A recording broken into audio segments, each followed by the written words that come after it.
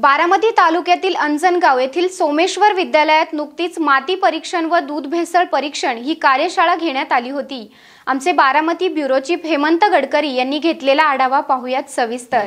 भारताच्या कृषी क्षेत्रातील भविष्याचे नायक या उपक्रमाअंतर्गत ही कार्यशाळा घेण्यात आली होती. या कार्यशाळेत शाळेतील विद्यार्थ्यांनी परिसरातील शेतकऱ्यांच्या शेतातील मातीचा सामू तपासला.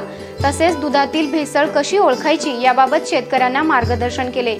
प्रजासत्ताक दिनाच्या कार्यक्रमात शेतकऱ्यांना या परीक्षणाचे अहवालही देण्यात आले होते.